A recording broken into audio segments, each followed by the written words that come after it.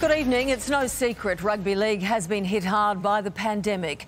But now the true cost has been revealed with the NRL forced to come up with a new game plan to save $50 million a year. It involves major job cuts right across the organisation. Amid the toughest of seasons, crowd numbers are finally about to be boosted in the opening minutes here. But while the NRL's cheering about that, it's also grappling with some other numbers that are no cause for celebration. The league is planning to slash a quarter of its workforce to save $50 million a year. These new changes will affect all levels, with the executive team having already been cut from 11 members to 8, as the organisation focuses on being a world class sports entertainment business and a governing body investing in participation.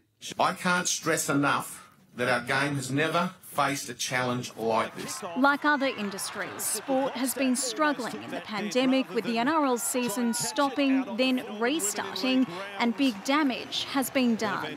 An Australia without rugby league is not Australia. Now, as part of the proposed restructure, NRL Chief Executive Andrew Abdo has told staff, We will lose some very good people during this process.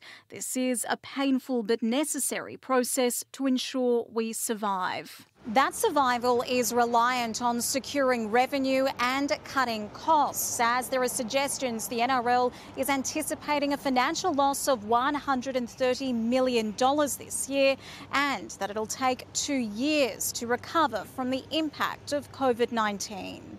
That involves some tough calls and a new game plan, which hopefully works. Alice Hogg for 10 News First.